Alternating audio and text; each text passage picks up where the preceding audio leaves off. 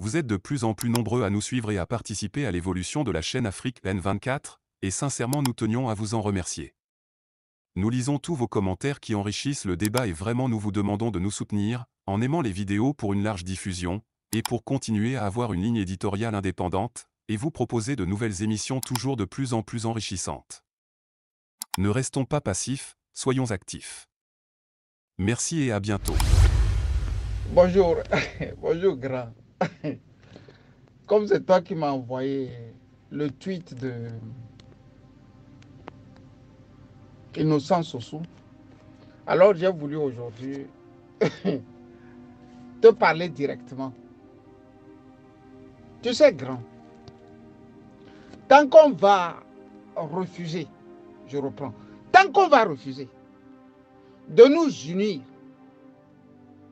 pour combattre l'ogre, la fin sera toujours fatale. Je dis fatale pour les uns et les autres.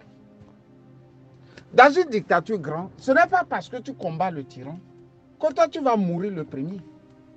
Ce n'est pas parce que tu dénonces la dictature que toi tu vas mourir le premier. Ce n'est pas parce que tu agresses, tu harcèles le dictateur et tout autour les apparatchiks que tu seras le premier à mourir. Grand, je vais te parler du frère d'un ami, Gezo Germain alias Chocho. J'ai jamais vu un homme aussi terrible en mathématiques comme ça. Il a fait la série E au lycée technique de Sokodé. J'ai jamais vu ça. Il parle mathématiques, on dirait. C'est lui, c'est lui qui nous a appris à déposer les tracts de la CDPA dans le temps à Sokodé. Gezo Germain alias Chocho. Gezo était derrière les Ninévi. C'est lui qui déposait les tracts par-ci, par-là. Son frère, Kofi, ne faisait jamais politique. Je dis, il ne faisait jamais politique.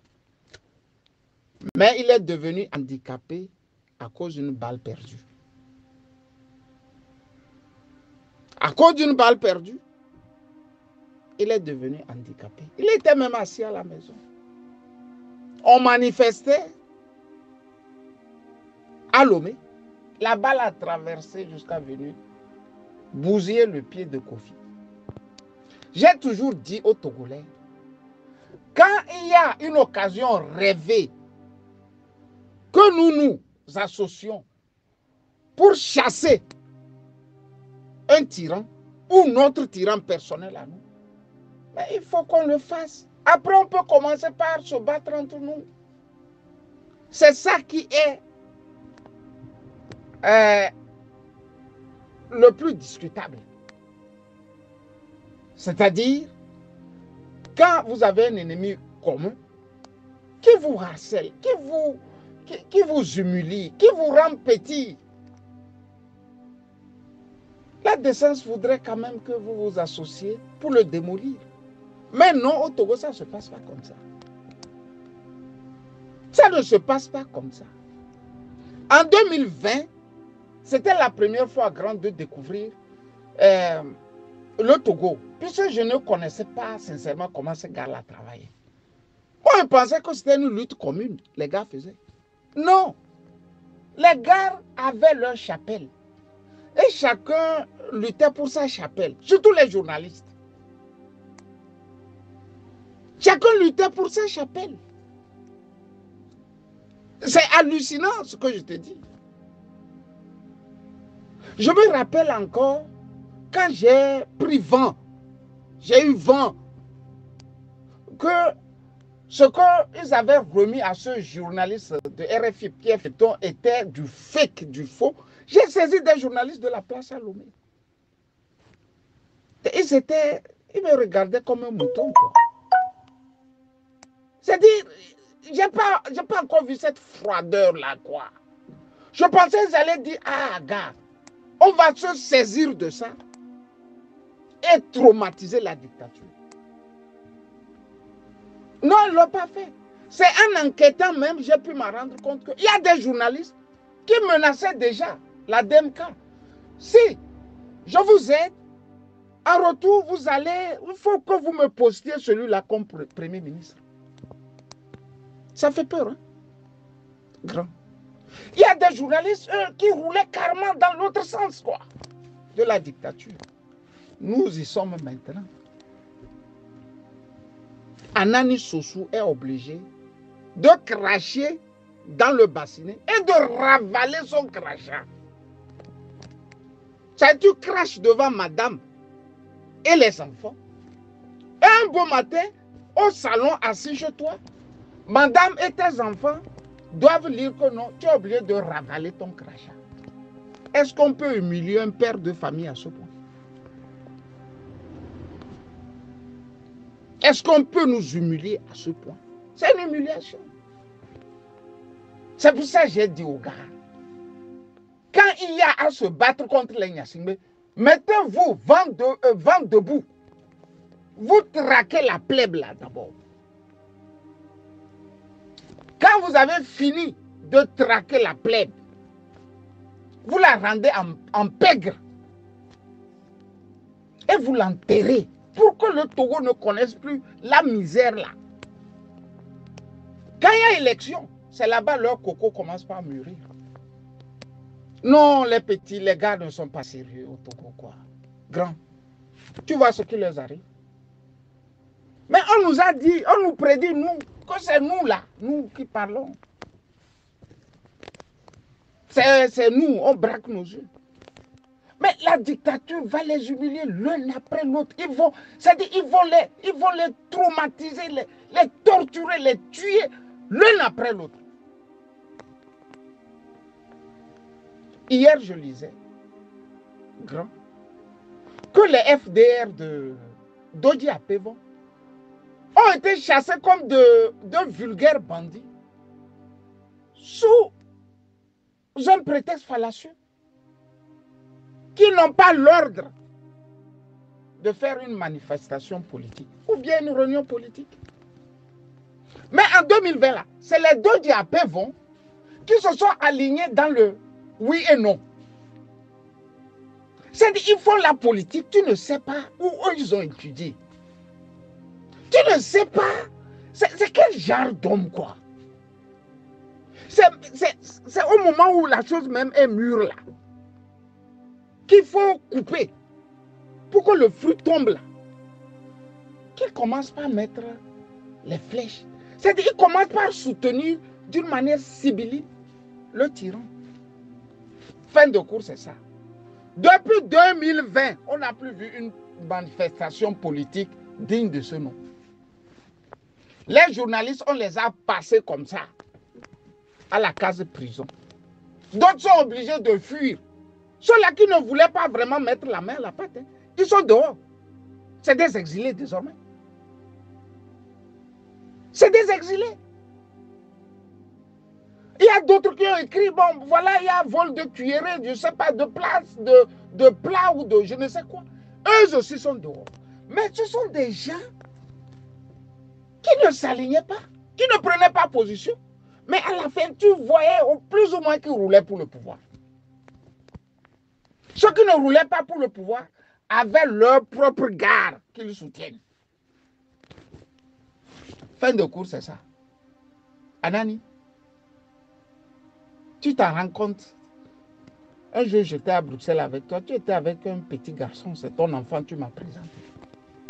C'est sûr qu'il est devenu un gaillard. Si ce gaillard-là doit lire que papa a tué, que j'ai menti, alors que tu n'as pas menti. Tu n'as pas menti. Ce que tu avais dit auparavant, c'est ça qui est vrai. Mais maintenant, parce que tu veux vivre là, tu es obligé de dire j'ai menti. Mais quand ton enfant va grandir dans ce truc-là, comment il te regarde? Il, voit papa comme un petit lâche. Alors que ce n'est pas de ta faute. C'est pour ça que j'ai toujours dit. Hein. Tant qu'on ne va pas... Oh non, les gars, non, les gars, vraiment, vraiment, vraiment, vraiment. Tant qu'on ne va pas se dire là, ici là, ce n'est plus un parti politique, ni un mouvement, ni un chef de parti politique. Ils vont nous humilier comme ça. Si c'est les chefs d'opposition, oubliez ces gens. Ils ne sont pas dignes. Eux ne sont pas dignes. Eux mangeaient depuis. Ils prenaient depuis. Vous allez remarquer qu'au fond, Nyasime ne s'en prend même plus à eux. C'est nous, les jeunes là. Les jeunes de son âge là. C'est nous qui sommes dangereux pour lui. Parce que nous, on est plus truculents que les opposants là. Ils ont mangé, mangé, mangé. Ils ont mis dans leur pensée, ils n'en peuvent même plus. C'est ça la triste réalité. Quand on vous dit venez là, à chaque élection, il y a toujours ça. Comme si le Togo était une démocratie. Ah, non, non, non, le Togo est compliqué. Ce qui est facile là devient compliqué au Togo. On peut nous refuser tout. Mais c'est à nous maintenant de savoir comment nous, nous faisons les choses. Tu es sur les réseaux. Tu écris très bien. Nous, là, on te reprend. Des fois, ben, je t'écris à Nani, j'ai repris ton, ton, ton article. Je ne paierai rien.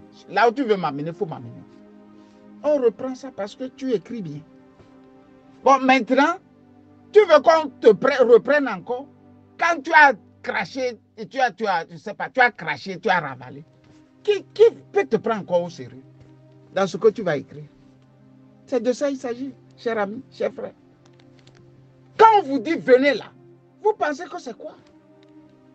On est sincère, venez. Ce n'est pas parce que nous on crie depuis là, on les affronte directement, que nous allons mourir avant vous. C'est faux, Anani. Je t'ai donné l'exemple du frère d'un ami, Gézo.